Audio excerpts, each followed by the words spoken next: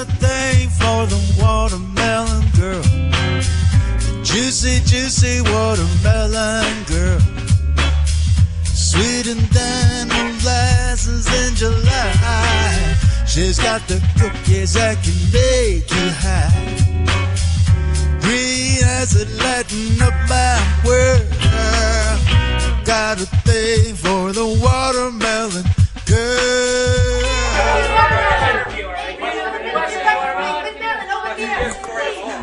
Thank you. Oh God. Okay. Okay. Okay.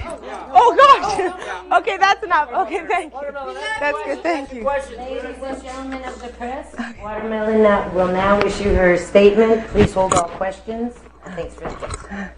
Hi, thanks, ladies and gentlemen of the press. I'm Watermelon, as you well know. I just want to say uh, to all my fans out there who've been helping me out, um, thank you for your support. I'm not a criminal. I'm a baker.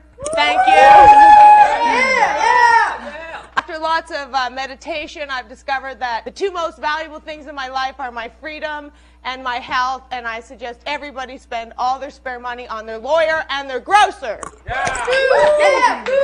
Okay, I'll take some questions. Watermelon, what's your current legal situation? I've won one case in the courtroom. Yay, hippies one, cop zero. Thank you. I have two in adjournment and one more case pending at the uh, Richmond Courthouse, September 2nd and October 15th. Come watch your tax dollars at work. How are you paying for all your legal fees? Well, I'm glad you asked that because it certainly isn't cheap to be infamous criminal these days. Uh, what I'm doing is I'm holding a benefit in September. Please come out and support me at that. I'm selling postcards that say free watermelon, and on the back it has darling blank. In case you don't know what to say, send 20 bucks to the address on your screen, and we'll send you 15 postcards, include shipping and fondling. I also am selling these medical cookies anywhere in Canada. Uh, you can also send a check to the address on your screen, and you'll get those at home. Thank you. Next question. Watermelon, what exciting new projects do you have planned? Oh, I've always got lots of exciting projects. I believe I'll be at Noble Aid. It's an aid for a girl who was beat up by a cop and is now being charged with assaulting a police officer at Archer. And I'm going to teach you guys to make butter tarts at home, right in the comfort of your own kitchen. That's right, at home. And I would also like to bring your attention to some underground comedy I'm going to be doing. That it's not for everybody. I got lots of other exciting projects that I want to tell you about. Next question. Watermelon, do you still model marijuana or are you banned from the industry? I'll get that one. Watermelon and I are continuing to make hot, exciting pinups, and we're using marijuana as our theme, and we've got lots of new stuff, but we're, we're holding out right now, and you can see a little bit of what we're doing at my website. That's uh, mariacoletzis.com. Oh, is, that's my phone. Where's- Oh, thanks. I gotta take this call. Sorry. Hello? Yeah, I'm just in the middle of a press conference here. Uh huh. 30 pounds on a boat near the harbor? Okay, Maria, get your camera. We got a gig. Uh, hit it.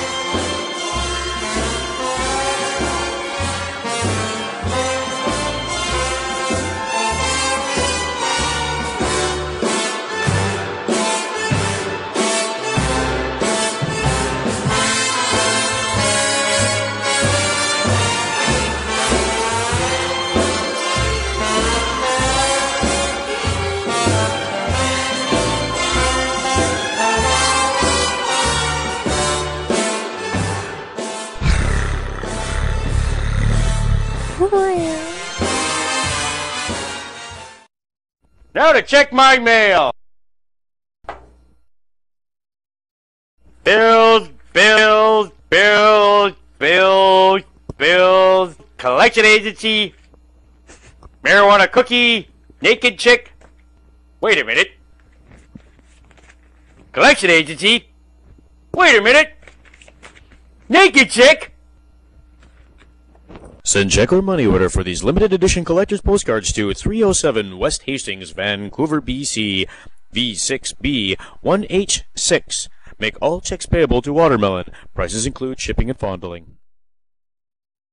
A round of applause. How many undercover officers are in the crowd tonight? Round of applause. Hey, uh, anybody from East Van here tonight? Is East Van in the house? Ah, fuck. Hey, are you guys all non-smoking, bisexual vegetarians into gardening. I can't get an apartment. I don't garden.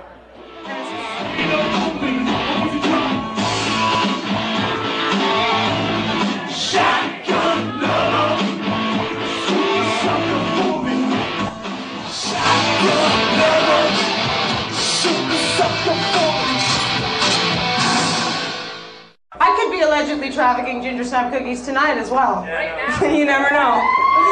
You just never know. This is reminding of, uh, you guys, I was watching the Retro Channel the other day. I think choreography's come a long way. I was watching that Pat Benatar. You guys big fans of Pat Benatar, no? You remember that? Love is a battlefield. Love is a battlefield. She does this music video to Love is a Battlefield. It was like, uh, it's great. They're in this disco. It's a lot like this place. And they're dancing. You know, this girl and this guy on the dance floor, and they're dancing. And uh, suddenly the guy, the guy the girl and he like roughs her up, you know? And the girl's all teary eyed and she runs away.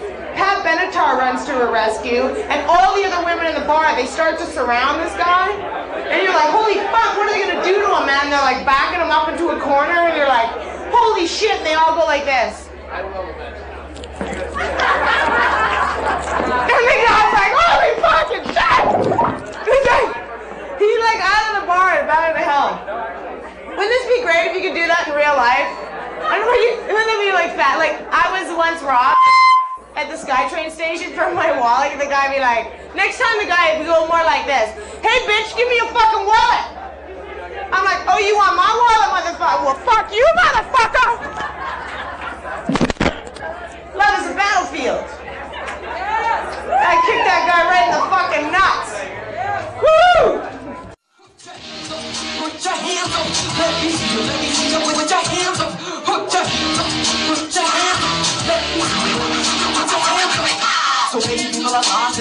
In in these times. I find myself I'm out of your rhymes. This form of expression, many things into the. Is words that come to my mind are connecting through the electrical, invisible power, programming your brain waves, creating hyperlinks and take me into space.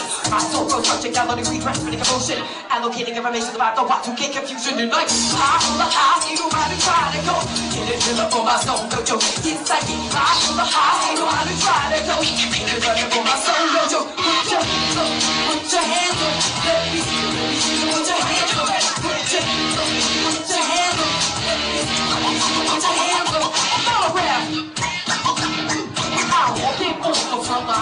stepping forward to a higher state of mind, highest height of my life.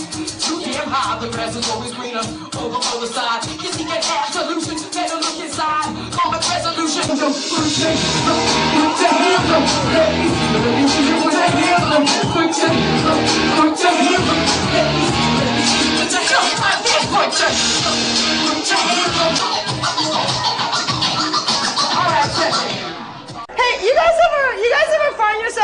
arrested and you're thinking to yourself, it's just because this cop needs the practice?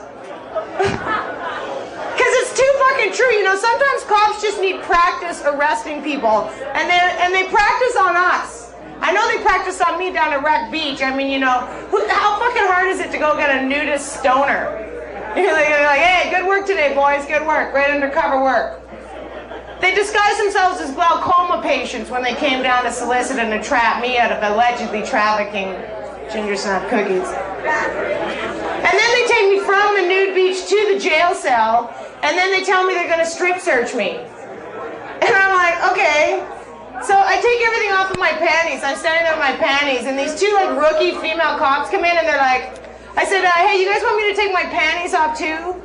She goes, well, uh, not unless you have anything, anything sharp down there, like any weapons or anything down there.